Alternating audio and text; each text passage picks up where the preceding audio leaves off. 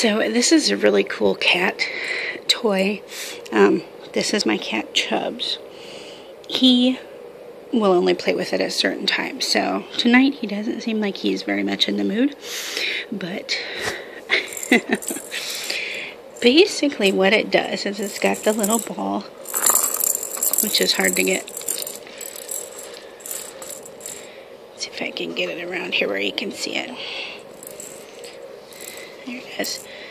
It's full of little things that make noise.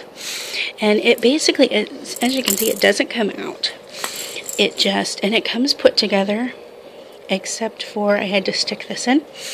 Um, but you roll it around and you teach your cat how to put their paw in through here and bat at the ball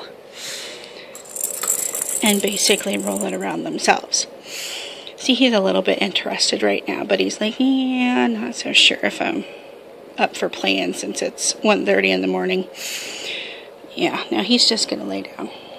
Is that your toy, Chubs? Is that your toy?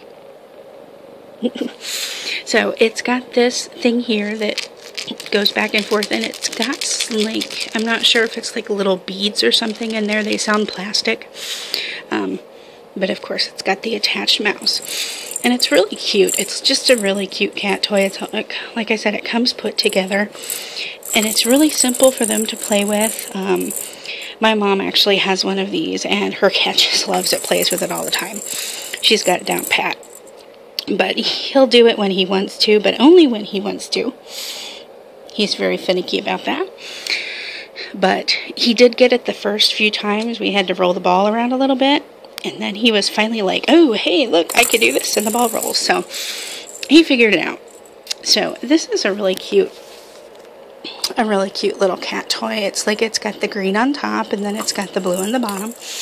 As you can see, it's like, it's made like a donut. It's just really cute. So, um, he doesn't really like this too much. Um, so I guess it depends on what your cat likes or doesn't like, but you can take this off.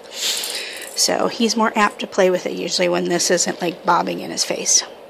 he's kind of a funny cat, but so, but this is a really cute thing, and it'd make a really cute present for any cat um, who likes to play with balls. And the best part is, is they can't get the ball out of there.